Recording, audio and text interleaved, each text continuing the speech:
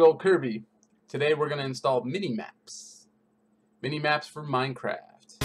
Mini-maps are the little thing in the top corner of your screen that will show you where you're at, where you want to go, what's in, what's on the map. They're pretty awesome if you're playing with other people or if you have this really cool world that you made and you just are like, where's that big building that I made? I can't see it right now.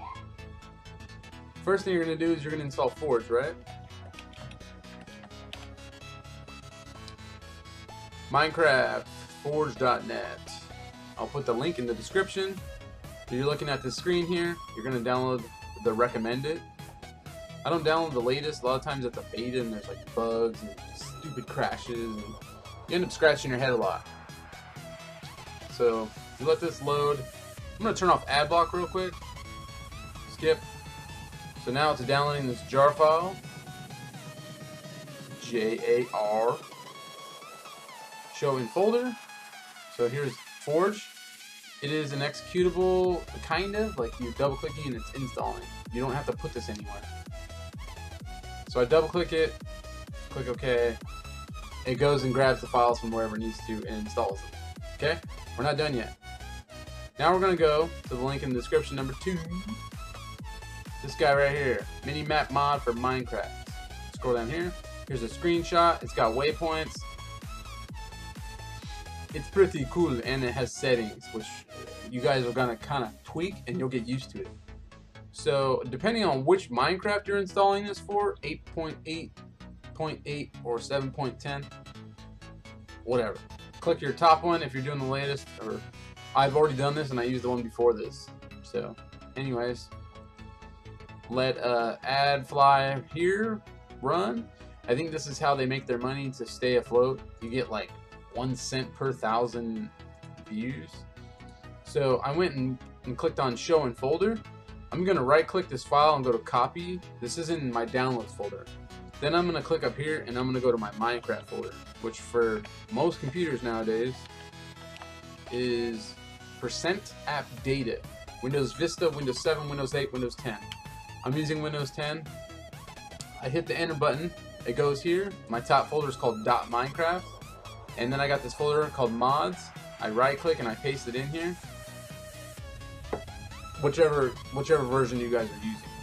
I'm using 1.8 in this video. But you probably were using 1.88. Doesn't matter. Minimize. Open Minecraft. Let it load. See down here in the right hand corner it says ready to play Minecraft 1.8 Forge. If yours doesn't say that, go over here to profile, click Forge, edit profile, and then make sure the bottom bottom, right, is the profile you're using. Click save profile, then click play. If you guys have done mods, I apologize. That's for anybody that's never really used any mods. Everybody that's played with mods knows you just click and save and you're good. This screen right here is pretty much telling you your forge is loaded properly and it's in the background loading the required stuff. So I'm going to make this big for you guys, and I'm going to turn it down just in case we get our ears blown out by Minecraft's music. Click done, click done. Single player. I have this one I downloaded, not good for this video, but this one's going to be perfect for this video. Play selected world. Okay. A little bit of shutter right now. Probably doing crazy stuff in the background on my system, but as you can see in the left hand corner, this thing works pretty good. I'm definitely excited. And hitting the escape button will pull up options, which will then pull up mini-map settings, and then you guys could go crazy in here.